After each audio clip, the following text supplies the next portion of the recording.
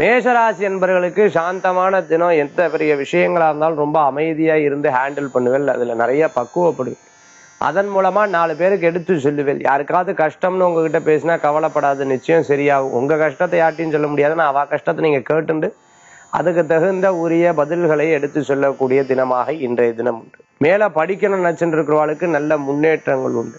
அம்மா அப்பாவுடைய ஆசீர்வாதம் நம்ம இந்த அளவுக்கு இன்னைக்கு நன்னா இருக்கோம். மேலும் நன்னா இருக்கிறதுக்கு இறைவன் வழிபாடு எனக்கு துணை நிற்கும்னு சொல்லிட்டு சதா காலம் பக்திமயமா இருந்துட்டு அது பெரிய உங்களுக்கு உதவிகரமா இருக்கும்.